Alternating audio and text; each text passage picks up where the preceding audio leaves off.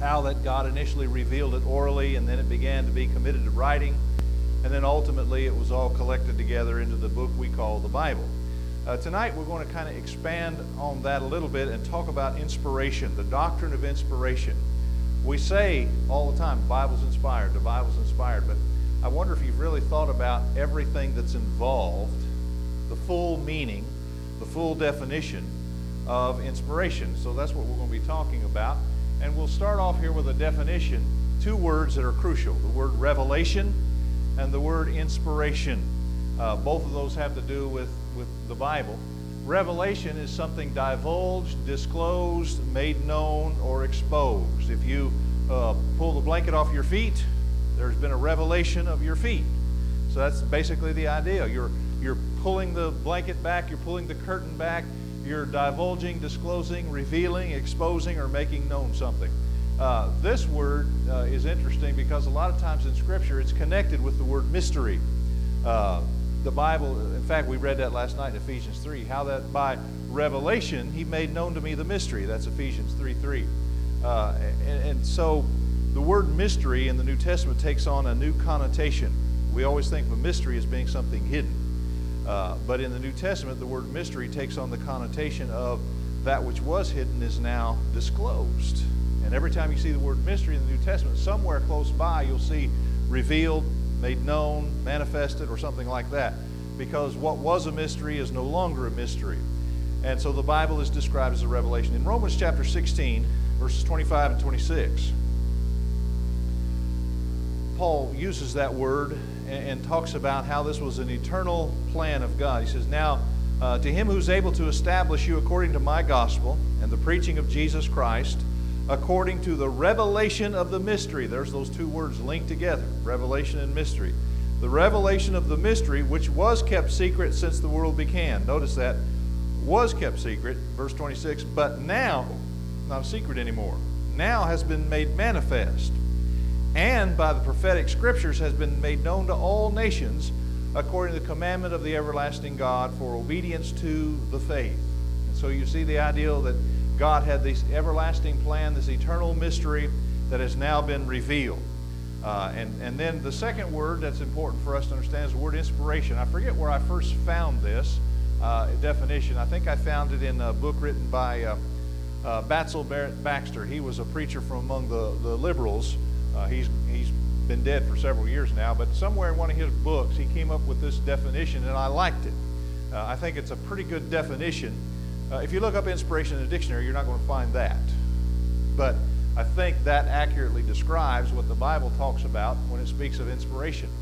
The supernatural influence exerted on the sacred writers by the Spirit of God by reason of which their writings are given divine trustworthiness. Now, I may be mistaken, but I think the word inspiration is only used once in the Bible. Uh, I may be wrong, and maybe you know of another passage. The only one I can think of is 2 Timothy 3.16. All Scripture is given by inspiration of God, and in fact, uh, in, in English, inspiration of God, that's actually comes from one single word in the Greek, theopneustos, if I'm pronouncing that correctly. Theos being God, and pneustos meaning breathe or or, or uttered. Uttered is the idea of God breathe, because when you speak, you're breathing. And so that's where that figurative speech comes from. And so the idea of God breathe. Uh, but that's basically describing what's happening here. You have the sacred writers, uh, that is the, the apostles and the prophets uh, of the Old and New Testaments. You have the sacred writers, and then there's an influence exerted on them, and that influence is supernatural. It's not that, that some human is dictating things to them, but it's supernatural. What, what does the word supernatural mean? Uh, yes, above and beyond. And God is supernatural. He's a supernatural being. He, he exists above and beyond nature and outside the context of nature. He made nature. He exists outside of it, independent of it. And so he's supernatural.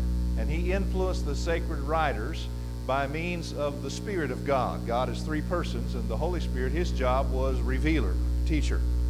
And so when we speak of the inspiration, we're talking about that influence exerted on the writers.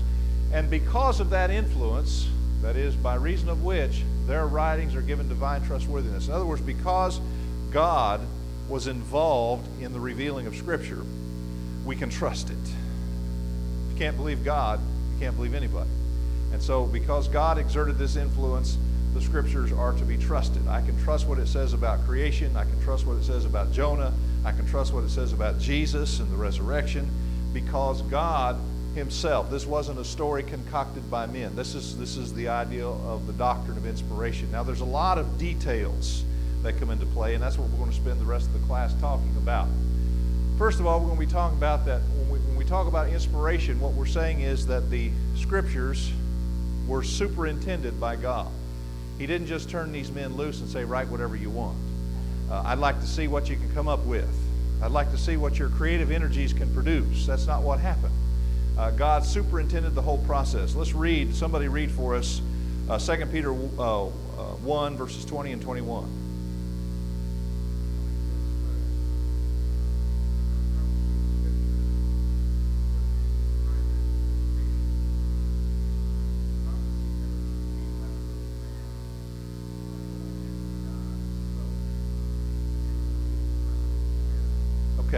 Last night we looked at this verse and we looked at it from the standpoint of the, the phrase private interpretation. And you remember we made the point last night that's not talking about the reader of Scripture, but the writer of Scripture. Uh, everybody who reads Scripture interprets it.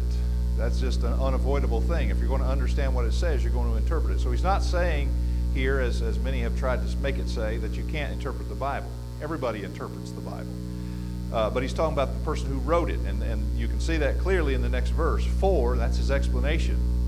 This is why it's not of private interpretation. For prophecy never came by the will of man. He's talking about where Scripture came from, the person who wrote it, not the person who read it or reads it, but the person who wrote it. Prophecy never came by the will of man.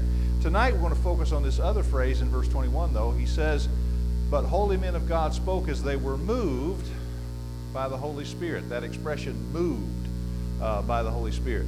So it wasn't of, of the writer's private interpretation, but instead they, these writers were moved by the Holy Spirit. The word moved uh, in the Greek language means to be carried about by an outside force. Uh, you can look up in the sky and you can see how the clouds are moved through the sky. What moves them? The winds, yeah. The winds move them. And so you can see that. Uh, you can see uh, how if you put a, toy boat, if you you know how you used to play when you were kids, and you'd have these mud puddles, and they'd be flowing down the street, and you could put a little toy boat up here, and it would float in the water, and it would go right down, the, and it's being moved. That little boat's being what's moving it?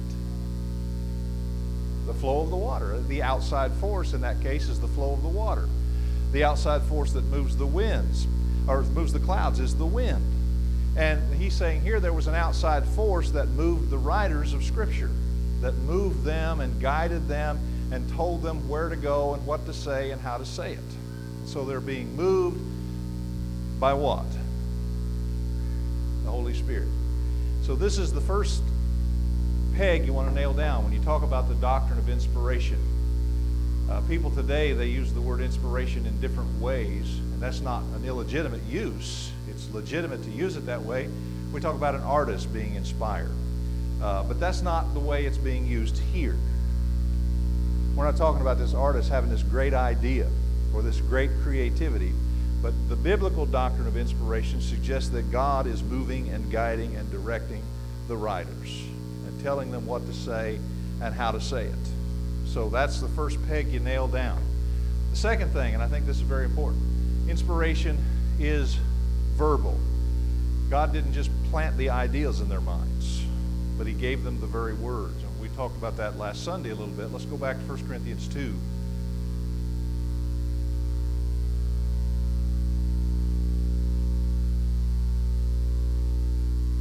What'd you say, Charles?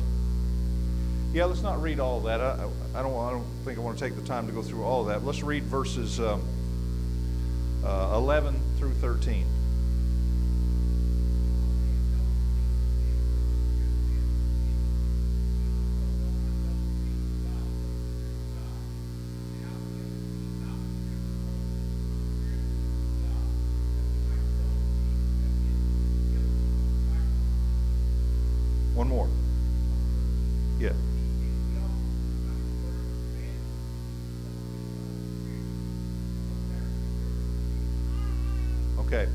this section that was just read, he starts off with an illustration in verse 11. What man knows the things of a man? Who here in the audience, and I think I know you do, has a new, you have New American Standard? Read verse 11 in your New American Standard Version.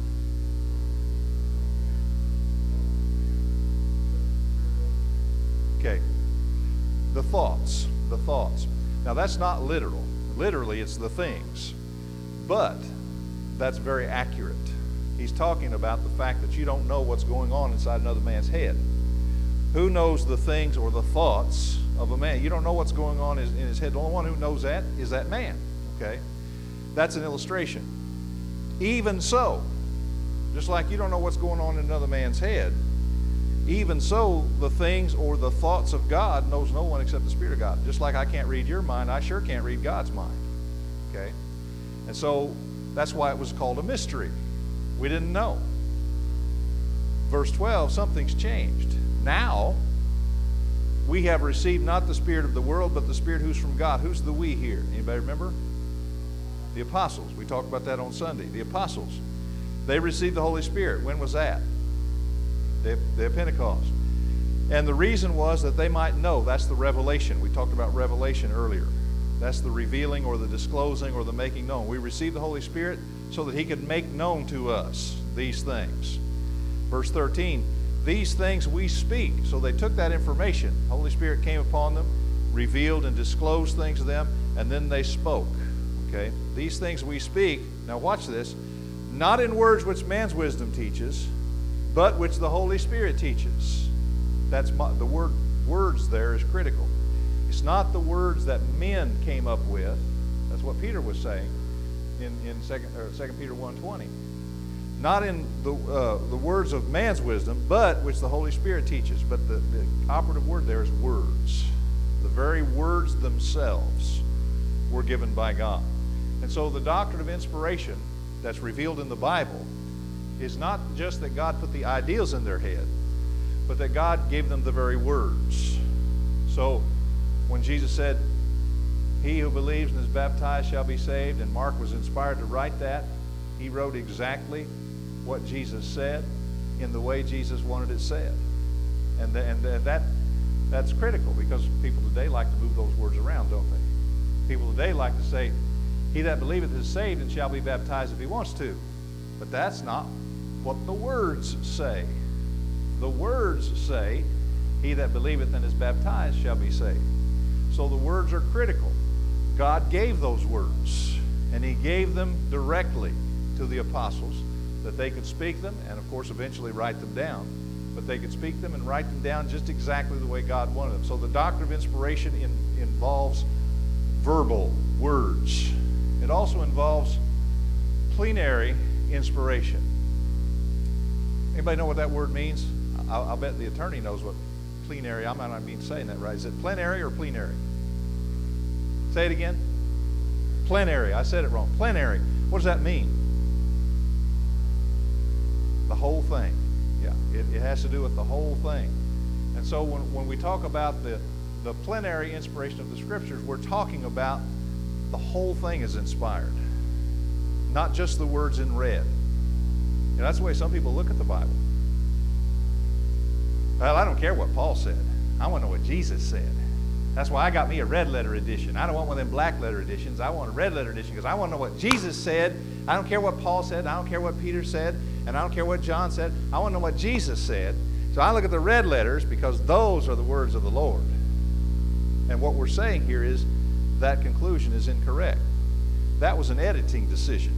Some editor somewhere said, you know, it'd be kind of neat if we just took the words of Jesus and made them red.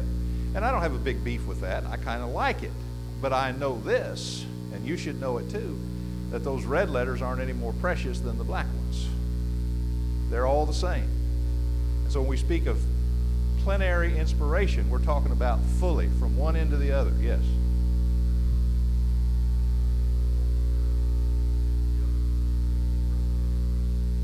He's just, yeah, he's just the mouthpiece or the scribe, as you said. Uh, and so we're, we're saying everything from one end to the other. And that's what 2 Timothy 3.16 affirms. Some scripture is given by inspiration of God. All scripture. It's not, he didn't say, the red letter portions are given by inspiration of God. the words of Jesus himself are given by inspiration of God. The rest of it you can kind of do what you want with. That's not what he said. All Scripture is given by inspiration of God. So the whole shebang, from Genesis to Revelation, the whole thing, from one end to the other, is inspired. So what we're doing here is building the doctrine of the inspiration of Scripture. What does it mean? When you hear me stand up here and say the Bible's inspired, these are the things I'm talking about. I'm saying all of these things, and I'm affirming all of these things. Uh, and, and I think it's good for us to just stop and, and analyze that, tear it down, and analyze all the components of inspiration. There's also this idea of selective inspiration. We said last night, we touched on it a little bit last night.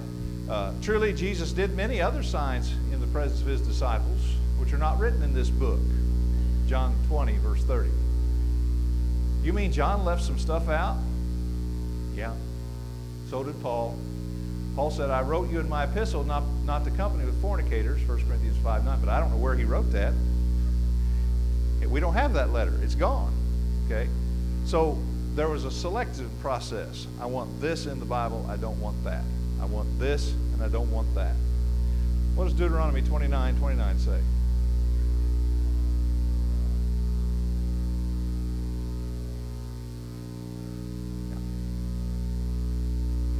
There are secret things and there are revealed things. There are things you're not going to know the answer to in this life. God didn't give them. He just didn't he just didn't tell us. He didn't think uh, not to sound rude, but he basically said, none of your business. Okay? if I want you to know, I told you. But I didn't tell you because I didn't want you to know. I didn't think it was important for you to know. Okay? So there are secret things and there are things that are revealed.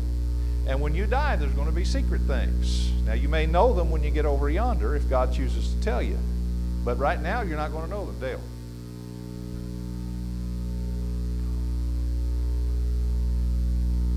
Yeah. You, you know, we get, we get caught up in these questions.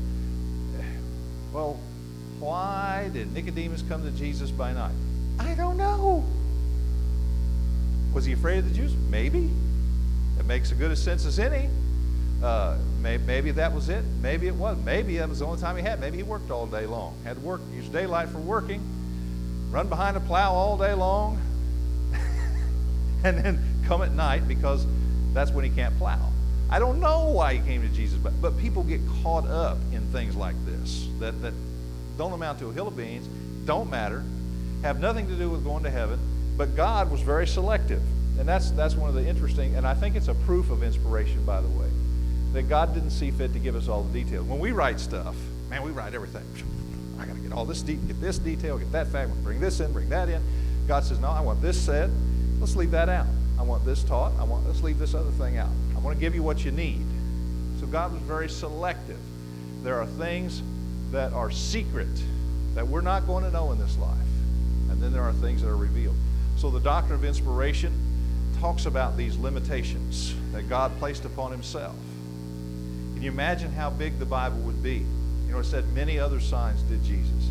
If it recorded all of his signs, if it recorded every word he ever said, if it recorded every action that he took from the time that he woke up his eyes in the morning until the time he pillowed his head at night, every day for 33 years, how big would the Bible be? And that's just the Gospels. we haven't got any. So God was very selective. This is what you need to know. You don't need to know that. And, he, and he, so the doctrine of inspiration is God guiding it, superintending it, and selecting those things that we need to know. Inspiration also suggests that the Scripture is infallible. What's John 17, 17 say? By thy truth. What's the opposite of truth? Falsehood. The truth and error, truth and falsehood. Thy word is falsehood. No. Thy word is truth. That excludes error. So God's word is infallible. Now, does God's word record sins? Sure, it does. It records sins like Adam and Eve, records sins like what David did, uh, records sins of uh, Saul of Tarsus when he's persecuting Christians. It records sins. But here's the point you can bank that those things happened.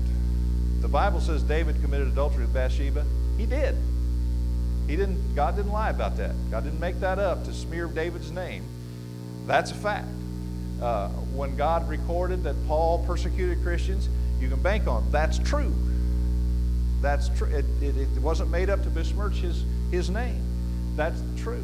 And so you can count on every statement in the Bible. It's true. Now, people today, they want to weigh in the balances. They want to look at that and say, I just can't bring myself to days of creation. I can't bring myself to believe that Jonah was swallowed by a great fish and survived. I just can't believe that. I can't believe that the entire world was covered with a flood. And they're judging, first of all, passing judgment on events they've never seen and could not prove or disprove if their life depended on it. The only testimony they have is this right here. And it's not our place. We had a sermon a while back on absolute authority. It's not our place to sit in judgment on God's word. Did I see a hand? Was it Dale?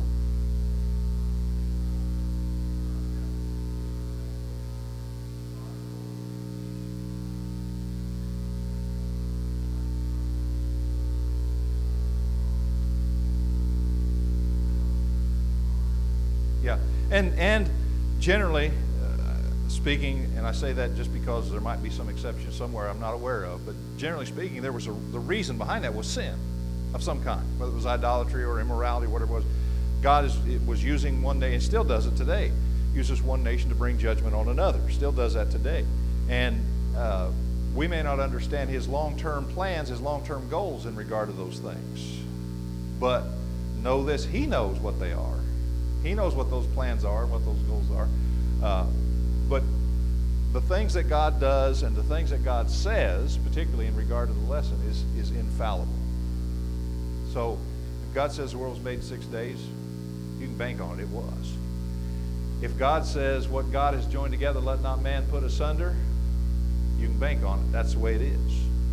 And no amount of, of whining and no amount of, well, I don't think that's fair Nothing like that is going to change one thing about what God said. He said what he said. And so it's infallible. When Jesus said, He that believeth and is baptized shall be saved, that's what he meant. It's infallible. That's truth. People say, well, I don't think that's right. Because Paul said over here, you're saved by grace through faith. Yeah, he sure did, and I don't deny it. But he also said over here, he that believeth is baptized shall be saved. Now, you can't take this and nullify that. They're both true. They're both true. And what people want to do is take this scripture and nullify that scripture.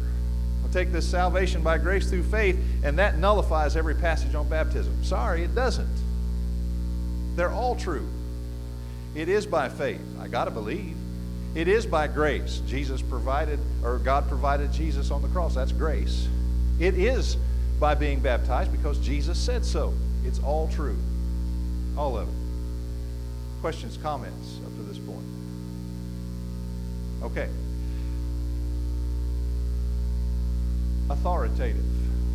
The authoritativeness of it. Paul, in 1 Corinthians 14 37, said, If any man think himself to be a prophet or spiritual, let him acknowledge that the things that I write to you are the suggestions of the Lord commandments. So, and, and I think that touches on something that's very important with a lot of religious people today. They see the Bible as sort of a generalized God. We don't really have to follow it to the letter. We don't really have to do everything it says. We can kind of modify it. Well, this is the 21st century. We can kind of modify things and change things around. And the Bible's just sort of a, a, a overarching guide. That's not the picture you see in the Bible. The things that I write to you are not the suggestions of the Lord. The things that I write to you are not just pertinent in the first century. The things that I write to you are the commandments of the Lord. And we can just kind of branch off of that for just a moment into the idea of how authority is expressed, how, how, how authority is expressed. Authority can be expressed by means of direct commandments. Go, preach the gospel. Direct commandments. Okay. Authority can be expressed by examples. Look what the churches of, he said, as I gave order to the churches of Galatia, even so do ye. See that? Now he's expressing some authority there. That's an authoritative statement. In fact, he says, as I gave order. Okay? As I gave order to the churches of Galatia. So that's an authoritative statement. But he's using an example. He said, Look what I told them to do, and you do exactly the same thing. And, and so we use that same example today. If the churches of Galatia were laying by on the first day of the week for the saints, and the church at Corinth could lay by and store on the first day of the week, and the church at Fishers can do the same thing. I know that's right.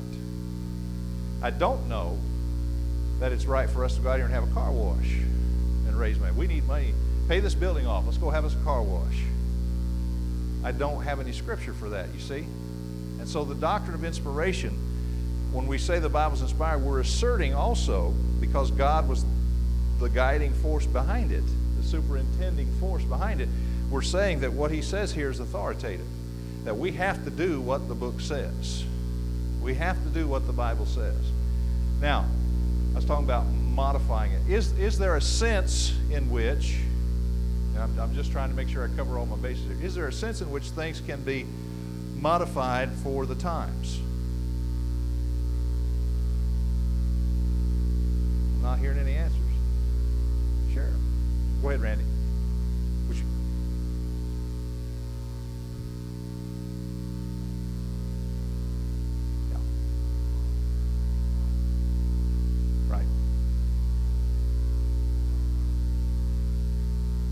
Yes. Yes. Yeah. And this goes back something else we were saying on Sunday, this effort. There are people who don't have the effort. I don't want to know the truth, and I don't want to I don't want to put the effort for it. The effort, we have to learn to distinguish between that which is essential, that which is authoritative, which must be done, taking the Lord's Supper on the first day of the week, singing without the aid of instrumental music, baptism, for the remission of sins by means of immersion. These are things that are essential, that are authoritative. Where am I going to baptize you? That's a non issue. Okay? That's a non issue. What, as Randy said, what time of day are we going to take the Lord's Supper? 10 o'clock, 11 o'clock, 5 o'clock in the afternoon? That is left to us to decide. And so there are ways in which certain things can be modified for the times. Al? Yes. Yes. Yes. Yes.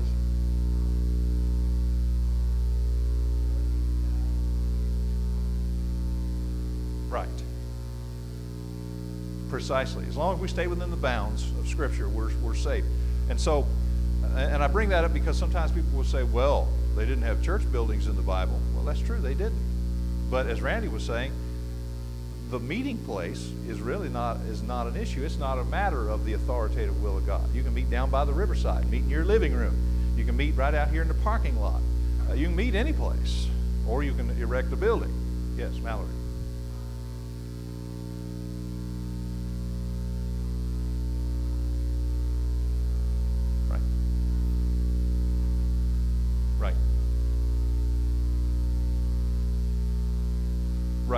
And that, and that, and that, and that's a great point. That, that brings in the, the idea of the completeness. You need to look at the whole message.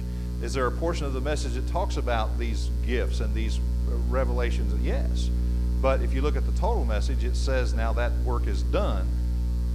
And now we have it all in, in the book. So we don't have men speaking in tongues and inspired and things like that. So, yeah, that, that's another side of that. Very great point. Anything else? Okay. Also, we're talking about how the, the Bible was attested, that there, that there was a testimony, that there was a witness to the Scripture. This is important because I, I can recall another book, two or three other books that claim to be inspired of God. The Bible claims to be inspired of God, but the Book of Mormon does too. And the Quran does too. They claim to be inspired of God. Anybody can come along and say, I wrote a book from God. God gave me. That's what Joseph Smith did. God gave me this. I found these golden plates up there, way up in the up, up northern part of New York up there. I found these golden plates, and I was enabled to translate them. And now we have the Book of Mormon, another testament of Jesus Christ. But I can't recall reading anywhere about a single miracle that Joseph Smith did. Did you? See, that's, that's, that's a difference, isn't it? The Bible is backed up, sealed, notarized by miracles. And that, that's what sets it apart. The greatest miracle of all is the resurrection of Jesus from the dead. Everything, as far as I'm concerned, everything in our faith rests on that. You want to talk about evidences? Look into the resurrection of Jesus. If that's a fraud, your whole faith is a fraud, you may as well throw this in the garbage. Go home. Okay? But if the resurrection of Jesus be a fact, then Jesus is the Son of God. Jesus is the Savior. Everything he said was true. Everything he said about the Bible is true. So to me, that's the ultimate miracle right there. That, that right there proves the whole thing or disproves it. Paul said it. Christ be not raised, your faith is vain. You're still in your sins. And so God backed up his message and backed up his messengers with signs and wonders. Let's look at Mark 16, 19, 20. We looked at them a little bit last night. And there's other passages we could bring to bear on this. Somebody's, I'm still flipping pages. If you've got it, go ahead and read it.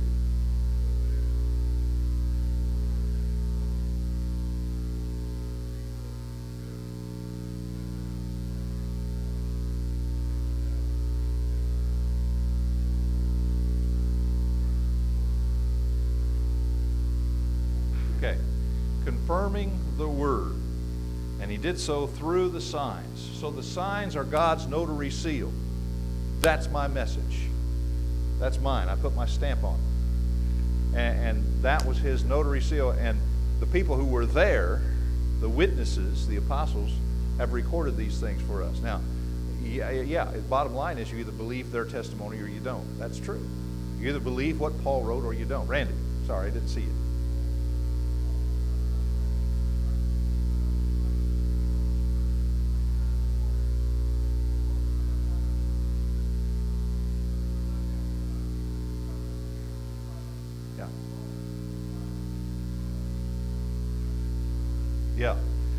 Enough, well more than enough to establish the fact, the historical fact of the resurrection. Okay, uh, Jeff.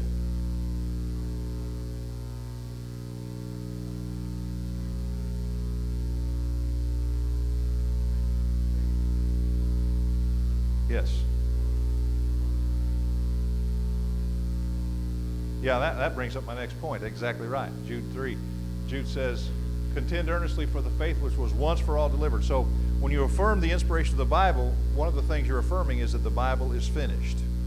So when come, someone comes along today and says, well, Jesus said to me, oh, I'm sorry. I'm sorry, Jesus said everything he's going to say. It's, it's, it's already here. Yes.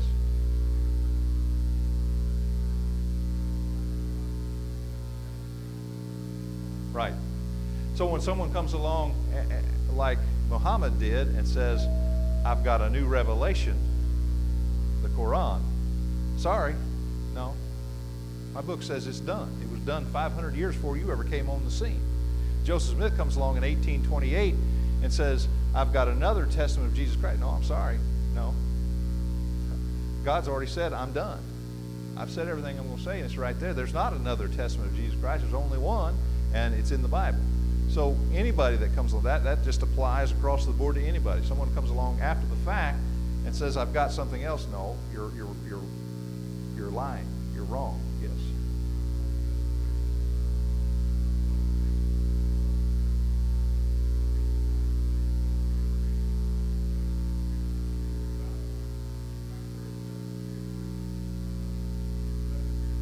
Yeah. Yeah, you can't change it. You bring heaven's curse upon you if you try to alter it in any way.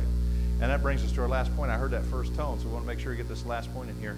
Well, the doctrine of inspiration also, uh, I think, asserts the idea that God saw fit in His providence. A while back we studied divine providence. In His providence, he, he has made it possible for the Bible to be preserved. It's been handed down to us accurately. It's been handed down to us complete and whole, without mistake, without error and it has been preserved. People have tried to persecute the Bible out of existence. They've tried to burn it out of existence, persecute it out of existence. It's still here, and they're dead and gone. And if people rise up today and try to burn the Bible out of existence, they'll be dead and gone. And a hundred years from now, the Bible will still be here. The grass withers and the flower fades, but the word of the Lord endures forever. And so God, that uh, that after God has completed His book and put His stamp of authority on it and completed it, He said, "I'm going to preserve it. I'm going to make sure that everybody, as long as there stands, everybody's going to have access to this information. It's there if you want it."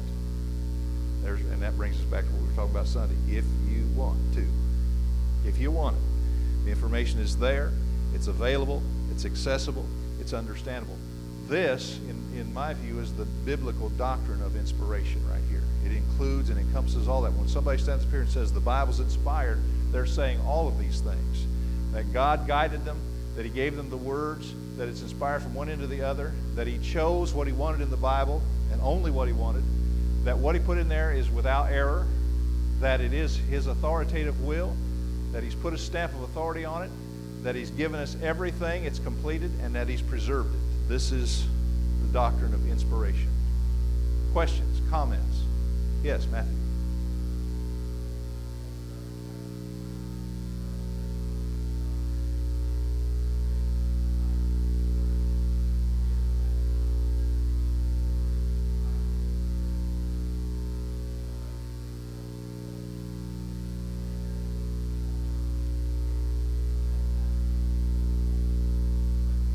Yeah, no, that's a great question. Um, I don't know how much time I'm going to have to get to this, but I do think in 1 Corinthians 7 he's giving his judgment. He says he is. Where was that verse? Did you did you happen to look at it? Yeah, he says, I command, not I, but the Lord. So he's commanding. I, not the Lord. Now, in that passage, what he's distinguishes between what Jesus personally said in Matthew 19 to what he's been revealed here in 1 Corinthians 7 12, that I've got some additional information for you here. So he's distinguishing between what Jesus personally said, between uh, what he's been, you know, because the, the full truth wasn't given in the days of Jesus. I still have many things to say to you, but you can't bear them now. So Paul's giving additional information. I think that's the force of verse 12. And then when you come down to, and I this is what I thought you were talking about, you come 17? Oh, and so I ordain in all churches. I would put that still under inspiration. I, this is, uh, the Lord has called each one, so let him walk, and so I ordain. That's still under inspiration. But I was thinking more down around to uh, verse 25. I thought that's what you were referring to. Now concerning virgins, I have no commandment from the Lord but I give judgment. I really thought that's what you were referring to. But there you can see, I think, context that he's shifted gears here. I give judgment. No commandment, but I'm giving you my judgment. Now, there's still something to be said for that because he's an inspired apostle, and so his judgment ought to carry some weight. It, it, it, you know, it may not be a commandment, but it's a judgment that ought to carry some weight. It ought, we ought to think about what he's saying here. And I thought that's what you were alluding to. Now, I tried to move through that quickly because of the time constraints, so I don't know if I answered your question or not. Did I or did I not? Doesn't matter now. go ahead. Did, did I answer your question? Okay. I was going to say, dodge that one.